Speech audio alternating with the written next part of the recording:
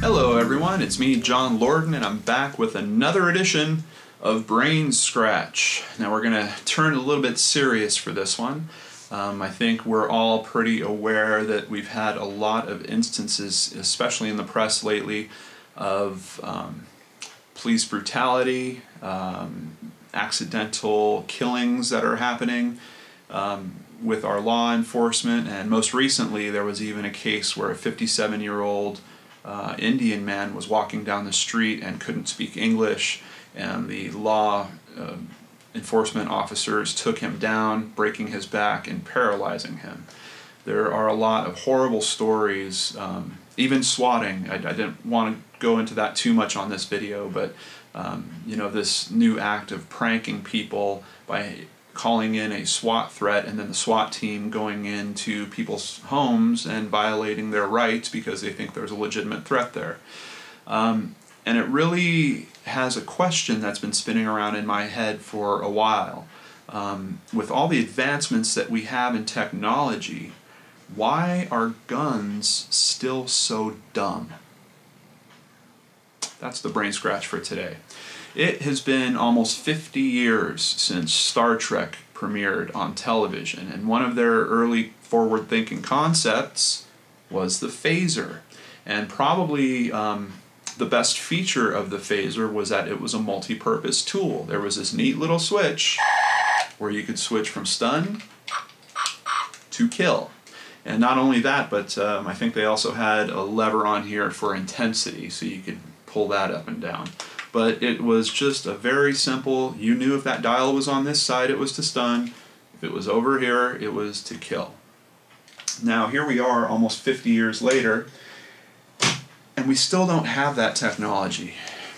Um, you know, the communicators, we've got, I mean, your cell phone basically works like a Star Trek communicator. Yes, we don't have warp speed and we're not able to beam people around, but I think the feature of stun to kill being built into a single one single gun is something we probably could have accomplished by now, and I just wanted to talk about that. So, now some people are probably saying, John, look, we do have non lethal options. We have tasers, there's beanbag rounds, um, and I just wanted to talk a little bit about that. There are inherent flaws with those devices as well. First of all, tasers have been known to actually kill people, so um, we know that that's not a perfect option by any stretch of the imagination. Also, the harshest criticism against tasers is that it could give the person you're trying to subdue enough time to pull their weapon, and if you only have one shot, you want that shot to count. Um, now, luckily, there are newer tasers. There's a model called the X3, which actually allows for three rounds of tasing to be fired from it. Uh, most taser models before that were a one shot try, and that was that. So uh, that argument definitely held a little more credence with the older models, but I think now that there's you know, if you've got the person charging to you and you tase them once and they don't go down, you know you have two more shots in that device. At least you feel a little bit safer. I think it was more of a risk when you had that one shot fired, and particularly if people were wearing thick clothing, the older tasers um, didn't always work getting through the clothes. So um, I think you know, hopefully the X3 helps uh, minimize that a little bit. Also, tasers have a 35 foot range, which is arguable in terms of is that enough distance being covered to really affect proper law enforcement in all cases. We've seen some crazy things happen, especially here in California, where you know um, bank robbers are using automated weapons, and it looks a lot like a scene from a Grand Theft Auto game. So is 35 feet really enough to cover that? And I don't believe it always is.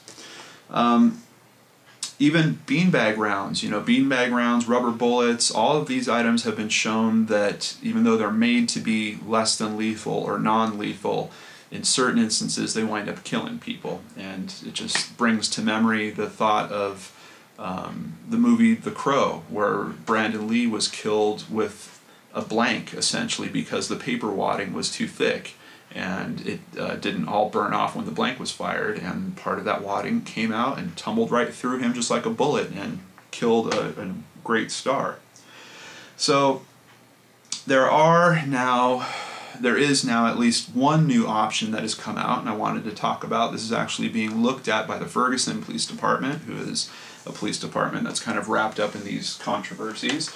And it's called The Alternative. Fitting name. There's a picture of it right there. And essentially, that whole orange piece clamps on to a regular firearm, and you shoot a regular bullet.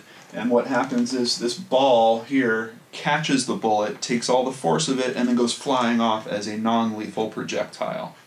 Um, now, the detractors of this uh, call it, someone called it the bozo bullet, I think, just because of it kind of looks like a, a clown nose. Um, and this was actually created by a retired sheriff's officer who I think had a had kind of the right idea going. There needs to be some way to once again use the same device, use the same firearm, but alter it so that it is not in a kill mode, so that it is in more of a stun mode. Now, there is downsides to this also. Um, first of all, it has to be clamped on, and in terms of training, um, when do you do that? Is it clamped on by default and it's just holstered that way, and then you have to unclamp it when you think you're in a true lethal situation? Or do you fire that shot off as a warning shot and then just go right into real rounds after that? You know, it's, it's definitely not a perfect solution, but I think it's got some of the right ideas uh, going for it. Also, it's single shot. So let's say that you were in a crowd control issue and you had multiple people that needed to be subdued. Yes, maybe you could shoot one person with that and get them out of the way, but now you're back to your lethal bullets, and I don't think you're going to take the time to pop that off, clamp on a new one, and then fire that off. So, for me, I think the fix is, like I said, step in the right direction, but not quite there. However, the idea of it, of modifying the bullet, is a great idea. I think that um, the fix for this is either some type of new ammo cartridge. I originally thought of it as two. You know, the ammo cartridges that slide right into the handle. You could have on the left side lethal bullets, on the right side non lethal, and then some kind of mechanism that just switches between which ones go up into the chamber. Um, this but this also raised a different thought for me. Outside of having that, which you know could have mechanical failure, um, you know, could there could be a jamming problem switching between the two different types of cartridges. Not to mention that two cartridges in the handle of the gun is going to make the handle wider and might not work as well.